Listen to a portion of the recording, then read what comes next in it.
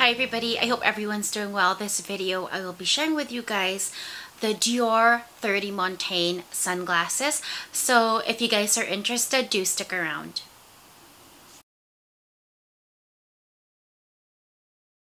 Hi everybody, welcome back to my channel. If you're new here, my name is Cristina. I do product reviews mostly on luxury beauty, skincare, and makeup. Occasionally, I do a luxury accessory review or share snippets of my life in a vlog here and there. So before I begin, you guys, like I said in my previous video, I hope that you guys find some comfort or a momentary pause through the videos that I share and the products that I share. This is not meant to be um, insensitive in any way. I know that 2020 has been difficult for a lot of us, but I enjoy sharing things with you guys and my product knowledge with you guys, which is what I'm hoping to offer in my videos. So I hope you just enjoy and take a little refuge in the 10 to 15 minutes that I share products with you guys that maybe you're interested in or are looking into. So without further ado, let me grab the sunglasses. Now, I purchased these from this I purchased from Holt Renfrew, which is a luxury premium department store in Canada. And I'm going to share with you guys the difference that you get when you purchase it from the Dior boutique versus purchasing it from a department store. So first of all, obviously the packaging. Now also I got this, you guys. This was on a special markdown, like a private sale. I'm not so sure if it was a private sale. It was just a sale. But a few of the things, so it was I think 35% off.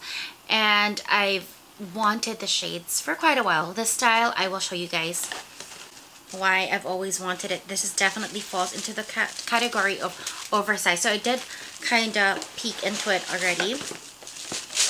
Now the box that they gave me is this box right here, which looks like the Dior Solitaire box. I'm not so sure if this was the exact box or the correct box, at least for the case. Um, as you can see, so we have the shades right here, and then the case is inside. Now let me show you first the shades. So this is how they look. It's the brown tortoise one that I purchased and the Dior 30 Montaigne is an oversized sunglass that has the CD logo on the arm. Now this is obviously less, this is more of a statement than the Dior Solitaire that I have. So let me just put it on for you guys. I love the frame. Now I'm to read a bit of this is the same as a Dior Stellaire. It says that the frame is 58 millimeters. The bridge is 15 millimeters and the temple is 135 millimeters. This is made in Italy. It has a CD signature on the hinge. It's 100% UVA and UVB protection on the Dior website. 605 Canadian and I purchased this from Holt Renfrew at 35% off. I will show you guys how much I purchased it for. So the total with tax of my purchase was 402 and 8 cents. So I per the shades itself was 359 Canadian.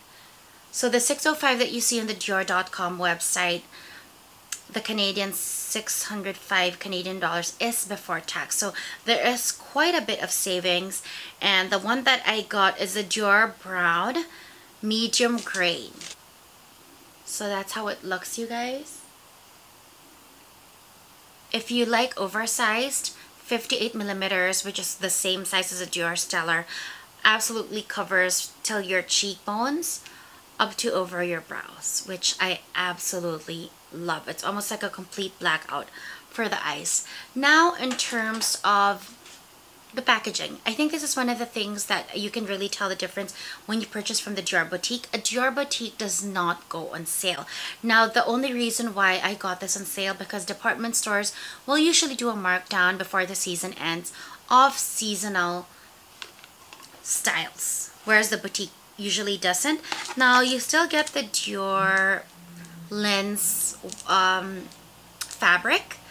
And this is the case that they gave me with it which is not the correct case. This is actually the same case as my Dior Stellaire which is like an a, a leather origami case. Now this one expands this way. This is perfect for the Stellaire but for the Dior 30 Montaigne this absolutely does not fit so they did tell me ahead of time that they don't have the proper case anymore for this or at least for the meantime when they get new cases for it they will let me know. But this was the last one in this style so I did decide to grab it anyway. Now obviously you guys can see it is not absolutely not gonna fit even when I expand the origami you can see it's really not meant for these shades. so I am waiting on them to grab me when the new one comes. But anyway this is the style. There really isn't much else to show you guys. But I think what I'll do is I'll I will share this one with a Dior. Let me get the Dior Stellaire. So these are my Dior Stellaires. You can see this is the same case that they gave me for the 30 Montaigne so you can collapse it when you have it in your purse. This one was 570 Canadian. So this is like a velvet um, lining. And then this is the Dior sunglass silk fabric. Now this is the Dior Stellaire, you guys. You can see how very understated it is compared to the Dior, the Dior 30 Montaigne. It's very streamlined. You don't see any, you do actually in the temple here, the design, it has a CD logo, but it's very, very minimal and very, okay you guys, before my camera went off, these are the Dior Stellaires. They're very minimal. They're very lightweight. They're very understated. In the temples, there is a very small CD logo and this is how they look. They are super light you guys. And so this is also 58 millimeters frame. And the one that I got I think this one is also this one is actually it's very similar to the Dior 30 Montaigne. So this one has the like brown tortoise frame in metal and then I think an olive green or a medium gray frame as well there is a very small CD logo here in the corner I don't know if you guys can see that. Now versus the Dior 30 Montaigne. So let's do a side by side. So, sorry. So let's do a side by side. So frame size is supposed to be the same, but because this has like a larger frame, a plastic frame, it looks a lot larger. And also the arms of this are just massive. You can see you can see right there.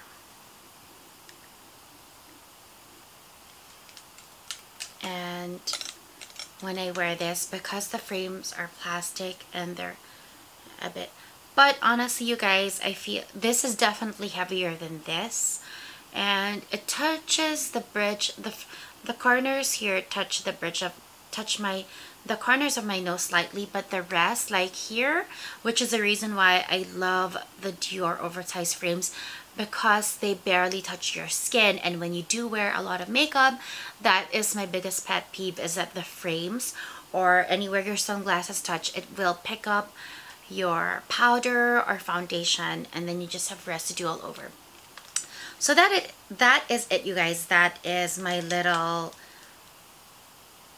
unboxing or review, not review, but just a little unboxing of the Dior 30 Montaigne and showing you guys how it looks on and comparing it with the Dior Stellaire, both over oversized frames from Dior. I highly recommend both of them. If you guys are fans of oversized frames, I think they are absolutely oversized. I think they're one of the bigger frames that you can see oversized frames you'll find in the market but they're also made very very well and they just have a very good fit to the face as well. So I hope you guys found that interesting and informative. And if you have any questions you can leave it in the comments down below. So thank you guys for watching. I hope you guys have a great day or a great evening. And if you haven't subscribed please subscribe button down below. I would deeply appreciate it.